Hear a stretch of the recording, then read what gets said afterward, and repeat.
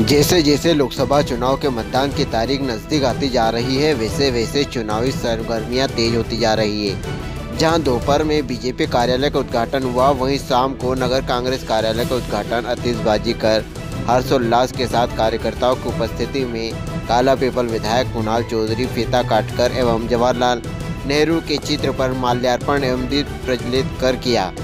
11 मई को राष्ट्रीय अध्यक्ष राहुल गांधी सुजालपुर में कांग्रेस के प्रत्याशी पद्मश्री प्रहलाद सिंह टिपानिया के पक्ष में सभा को संबोधित करेंगे। विधायक परिषद वार्ड नंबर तीन के पार्षद प्रदीप शर्मा का जन्मदिन भी केक काटकर मनाया गया। इस अवसर पर आसपास के कांग्रेस के कार्यकर्ता एवं नगर के कार्यकर्ता उपस्थित थे। पोलाय कला से मनोज विजयवर्गीय की रिपोर्ट।